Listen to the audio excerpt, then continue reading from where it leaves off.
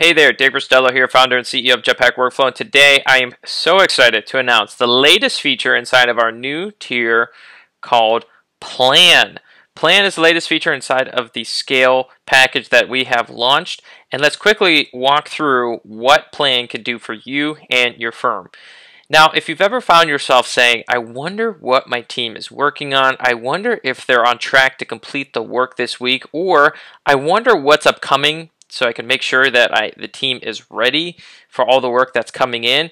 That's what Plan is here to solve. So really quick look at Plan. You're going to see a team breakdown here on the left-hand side. So I'm going to see all my team members. I'm going to see how they're progressing in a given week. You're going to see the progress bar fill up as they progress through the tasks assigned out to them.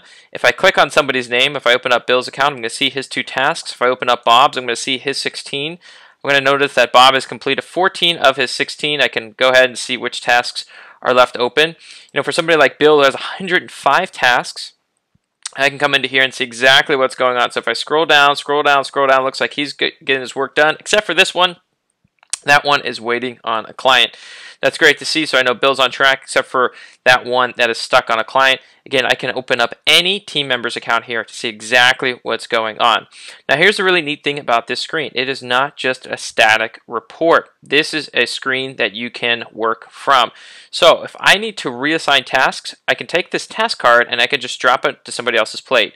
I've just reassigned that to a different team member. If I need to take a task and kick it out to next week, I can quickly reassign it to next week and you're going to see it it's in the next week file over here. If I need to rearrange the card to a different day of the week I absolutely can as well. So this is a fully dynamic screen. You can see exactly what's going on for each team member.